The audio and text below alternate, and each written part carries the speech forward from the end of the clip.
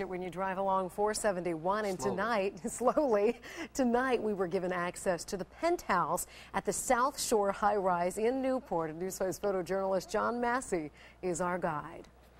The first thing a buyer sees is light, airy space and a city and river view beyond belief.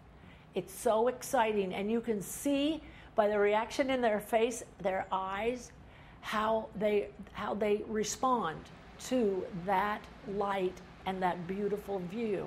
The whole concept here was to give every unit in the building unobstructed views of downtown Mount Adams and the river. Uh, the architects did a great job of that. Um, because of that, I think we do have a very unique development. It's the most exclusive piece of real estate in the sky. And I mean that. The whole concept from the beginning was to create a true resort kind of lifestyle in downtown Cincinnati. The amenities, the pool, the putting green.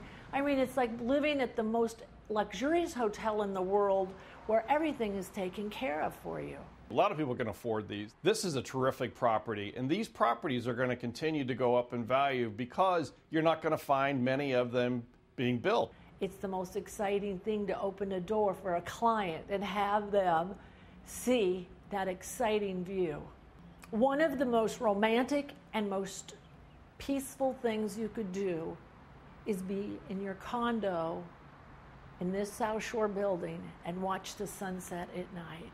It's absolutely breathtaking. It really is gorgeous. Although Kevin just said to me, I wonder how much this thing's going to go for.